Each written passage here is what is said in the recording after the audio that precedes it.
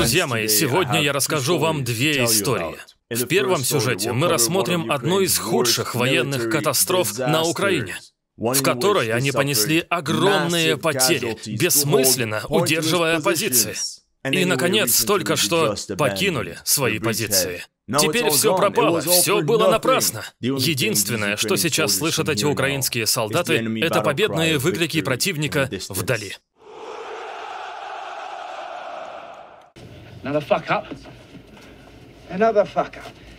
Буду честен, украинцы выбрали не самую простую локацию для своего наступления.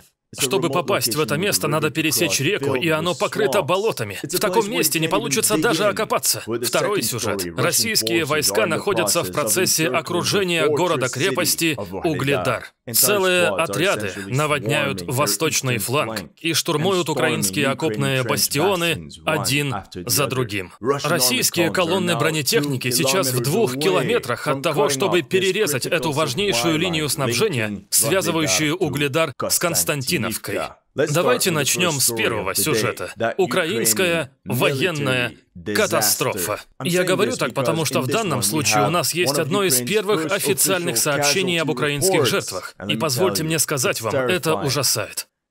Реально ужасает. Мы буквально говорим о тысячах жертв при нулевом выигрыше. Помните деревню Крынки? Это поселок в Херсонской области, расположенный на левом берегу Днепра. Начиная с конца октября 2023-го, украинское командование поставило задачу 37-й и 38-й бригадам морской пехоты переправиться через реку и создать плацдарм здесь, в Крынках. Чтобы избежать обнаружения, они сделали это на небольших надувных катерах. Некоторые говорят, что в случае успеха эта операция могла открыть дорогу в Крым. Однако, если посмотрим на это с другой точки зрения, то после полного провала украинского летнего наступления, битва при Крынках стала новым центром внимания украинского правительства. Что заставило многих подумать, что это был всего лишь очередной пиар-ход, чтобы показать, что Украина все еще побеждает. И, конечно, из-за этого основные СМИ оправдывали эту операцию. Например, вот что пишет Forbes. Битва за Крынки — это не самоубийство, это война на истощение. Реальность была совсем другой. Семь месяцев назад, в середине декабря 2023-го, я опубликовал следующее видео. Украинские морпехи разгромлены при переправе через реку. В середине ноября российский штаб, вероятно, приказал некоторым своим войскам отойти на вторую линию обороны, чтобы перегруппироваться и позволить артиллерии выполнять свою работу. Примерно 300 украинских морпехов удерживали плацдарм в Крынках, но они терпели от 10 до 20 потерь в день.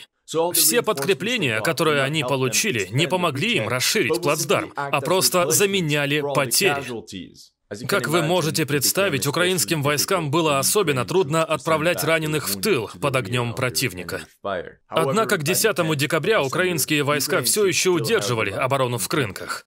Но вопрос в том, с какой целью? Что ж, в результате произошло следующее. Украина продолжала посылать волну за волной своих элитных морпехов прямо в мясорубку. Сами солдаты говорили об этом, что задача сохранения этих позиций стала для многих билетом в один конец. И имейте в виду, что это были одни из лучших солдат Украины. Их принесли в жертву ради пиара. Просто чтобы показать, что Украина все еще способна проводить наступательные операции. Помните эту декабрьскую статью, в которой BBC брала интервью у украинских морпехов? Они сказали, никто не знает наших целей. Многие считают, что командование просто бросило нас. Ребята считают, что наше присутствие имеет скорее политическое, чем военное значение. Но мы просто делали свою работу и не вдавались в стратегию. Украина продолжала переправлять взводы через реку только для того, чтобы их уничтожала российская артиллерия. А затем последовали бесчисленные авиаудары с применением ФАБ-500. Со своей стороны русские предприняли ряд контратак.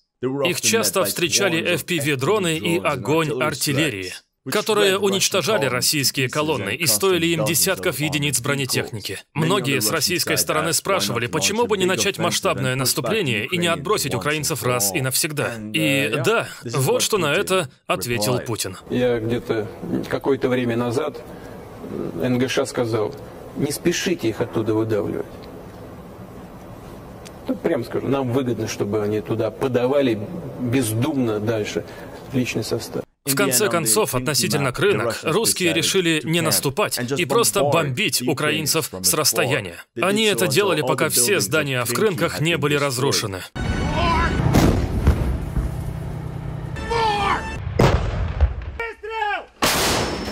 В конце концов, украинским морпехам стало негде прятаться, так как все вокруг превратилось в руины. Они могли перегруппироваться только в некоторых подвалах. В начале января немецкое информационное агентство Welt поставило под сомнение цель операции в Крынках. Они поговорили с украинскими солдатами, которые жаловались на то, что их посылают в мясорубку. Буквально, как мясо. Fleischwolf der Ukraine. Große Verluste. Украинская мясорубка. Беспощадный огонь. Огромные потери. Несмотря на критическую ситуацию, 15 апреля этот популярный проукраинский телеграм-канал сообщил. Крынки, твердо и четко. Вооруженные силы Украины расширили плацдарм, позиции противника сданы без боя. Десантная операция по расширению плацдарма на восточном берегу Днепра продолжалась с середины октября 2023 по июль 2024. Согласно карте проукраинской организации Deep State UA, последние морпехи, удерживавшие Крынки, покинули село 17 июля. И к 18 числу русские захватили поселение. На этом история могла бы закончиться. Однако на этот раз мы получили данные о пострадавших. И выглядит все плохо. Гораздо хуже, чем я думал. А, да, я забыл. Добро пожаловать на канал History Legends. Вот последние новости о российско-украинской войне. Если вы новичок на этом канале, поставьте лайк и подпишитесь. Как вы знаете, на некоторых из моих роликов была ограничена или отключена монетизация. Загляните ко мне на Patreon или PayPal. Ссылка в описании ниже. Спасибо всем, кто уже помог, и добро пожаловать в штаб-квартиру. Украинские СМИ Следство.инфо опубликовала следующую статью «Я видел ад и назвал его Крынки». Бойцы, которые удерживали деревню на левом берегу и пропали. И если вы сомневаетесь в достоверности их репортажей, это крайне проукраинское издание. Каждая статья снабжена хэштегом «Военные преступления России». Статья стала резонансной, потому что они решили затронуть самую запретную тему этой войны – потери. Украинские потери. Вот, например, 24-летний строитель Василь, позывной «Фартовый». Он воевал в составе 505-го батальона 37-й бригады морской пехоты. Он пробыл в Крынках 72 дня, со 2 декабря 2023 по 14 февраля 2024. Он сказал, что с того момента, как он оказался в деревне, он постоянно был под огнем российской артиллерии. Василь сказал, русские справа, русские слева, русские впереди, а позади вода. Некуда бежать, негде спрятаться, некуда маневрировать. Ты всегда под прицелом. Переправлять войска – одно дело, а снабжать их – совсем другое.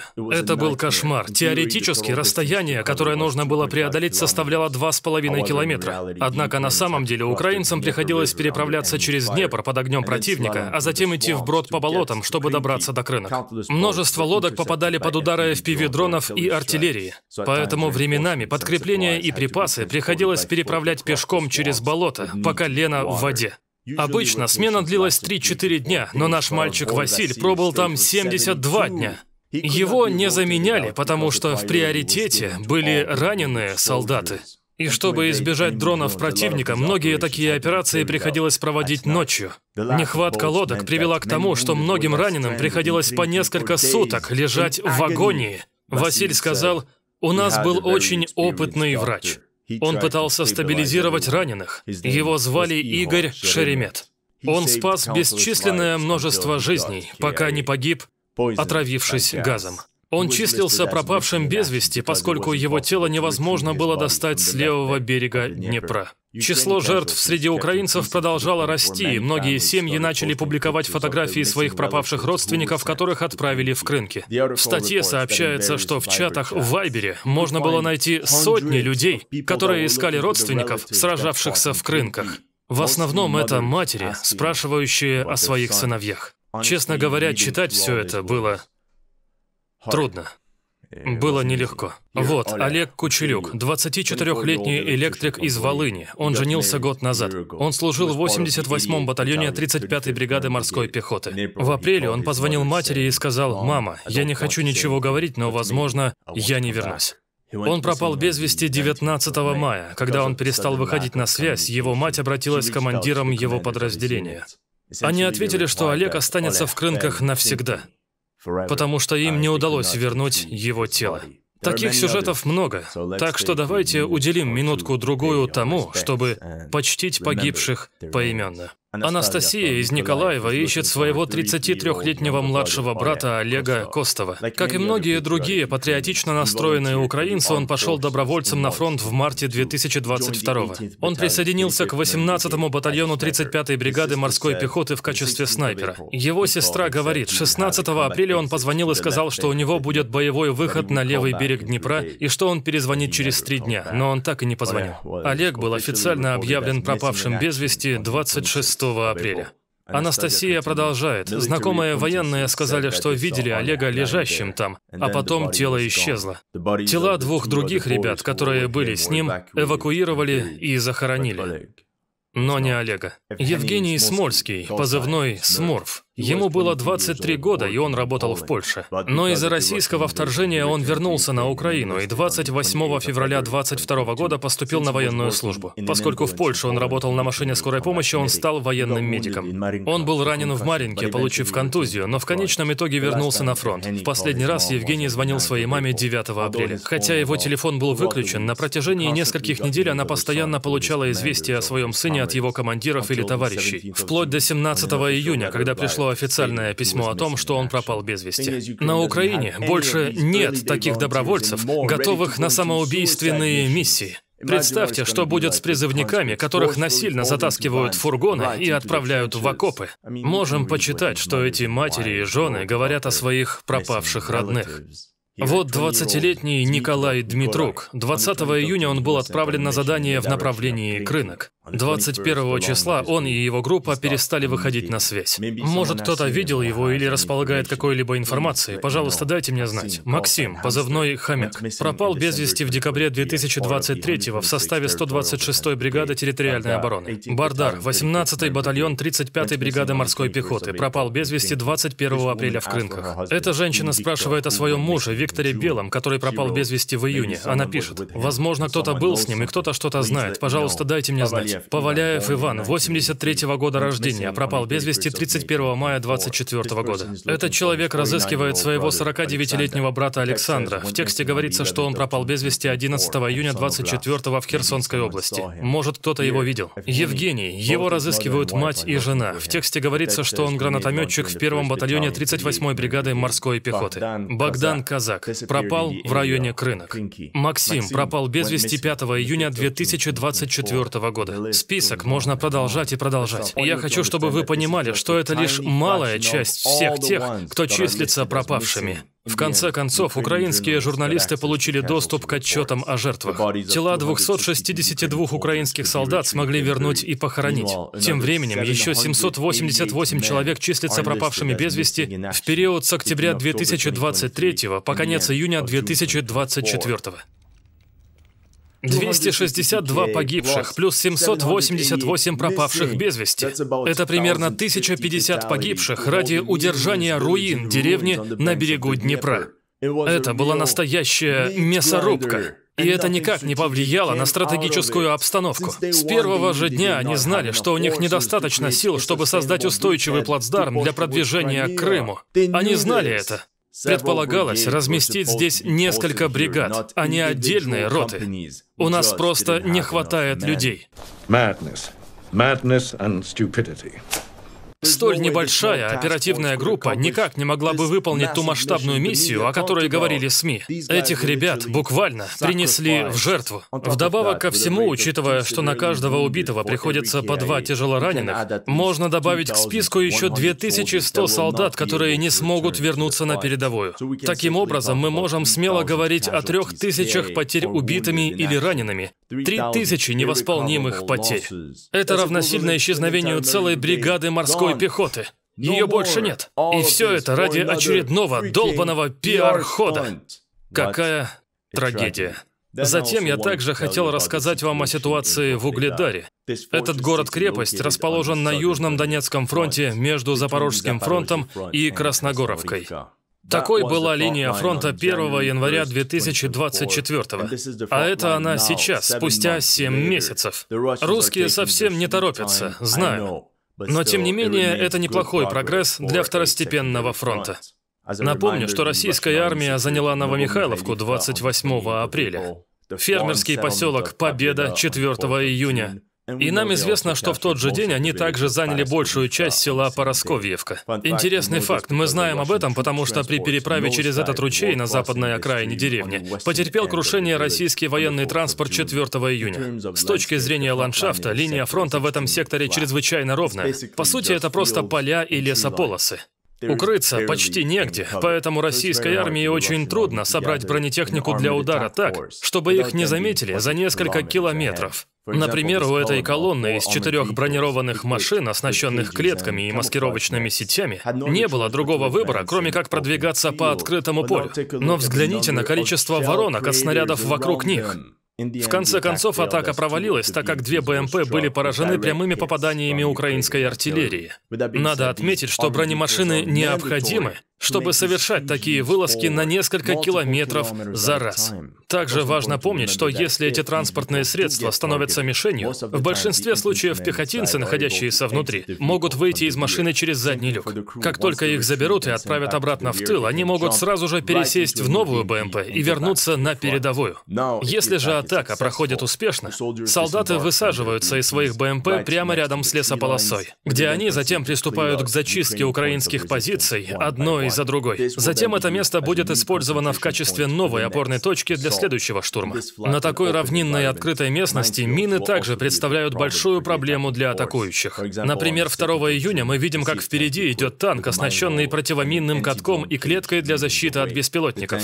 Танк обходит эту груду обгоревшего металла и натыкается левой стороной на мину в том же месте, где ранее были уничтожены две другие бронемашины. Далее мы видим, как восемь солдат быстро спрыгивают с танка, что означает, что они не пострадали. Затем солдаты перегруппировываются с отрядом позади них и занимают позиции в лесополосе. В начале июня оперативная цель российской армии в этом секторе состояла в уничтожении 6-километрового выступа к северу от Владимировки. После непрерывных обстрелов украинские войска были вынуждены отступить со своих позиций. 22 июня они отступили на 2-3 километра, а затем были вынуждены отступить еще на 2 километра 2 июля. 17 июля украинцы опубликовали это видео, на котором они обстреливают российскую БМП.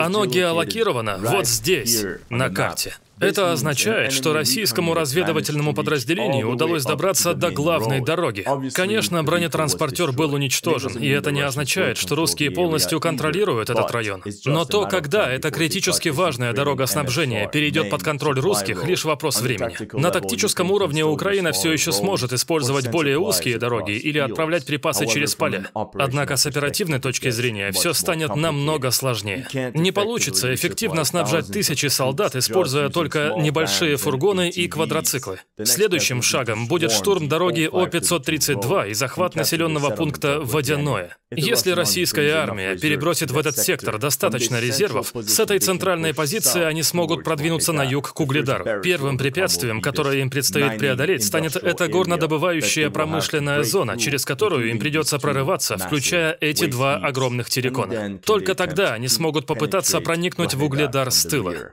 И, возможно, с фронта. Вариант 2. Русские поступят примерно так же, как в случае с Новомихайловкой. Они могут продвинуться на север и окружить Константиновку с юга по всей ее протяженности. Я хочу, чтобы вы обратили внимание на верхнюю часть карты. К северу от Константиновки расположены многочисленные укрепления и бастионы из окопов, продвижение по которым потребует много времени и жертв. Так что атака с юга была бы проще. Она могла бы сочетаться с лобовой атакой, чтобы сковать украинские силы внутри населенного пункта. Именно это они пытались сделать изначально, 4 июня, когда бронеколонна российского 57-го полка была поражена на подступе к Константиновке.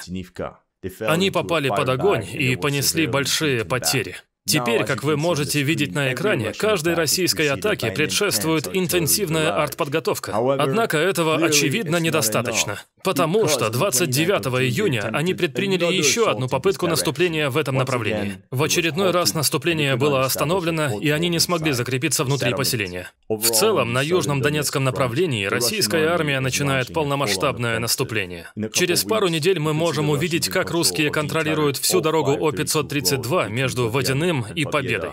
Продвигаясь вперед и обходя украинские позиции с флангов на 15-километровом фронте. Это все, что у меня есть для вас на сегодня. Дайте мне знать в комментариях, что вы думаете о моем анализе. Обязательно поставьте лайк и подпишитесь, а если хотите поддержать канал, зайдите на мой Patreon и PayPal, ссылка находится в описании.